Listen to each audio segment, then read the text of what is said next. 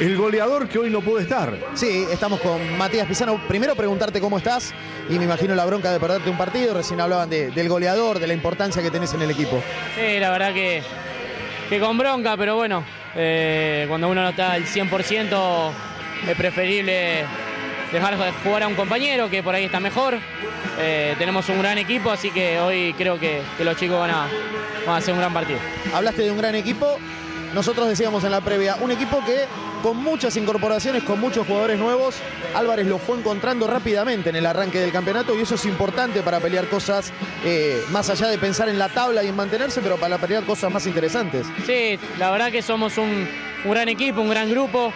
Estamos todos metidos, todos con ganas de jugar. Los que están afuera están al 100 también. Así que es importante día a día cada entrenamiento para tratar de dar lo mejor. Matías, eh, ¿qué tiene que hacer Aldo Civi para llevarse los tres puntos hoy ante el Belgrano? No, creo que inteligencia, tener juego y tener mucha intensidad como lo viene haciendo en los últimos partidos. Gracias por el tiempo y a mejorarse. Dale, muchas gracias, hasta luego. Matías Pisano.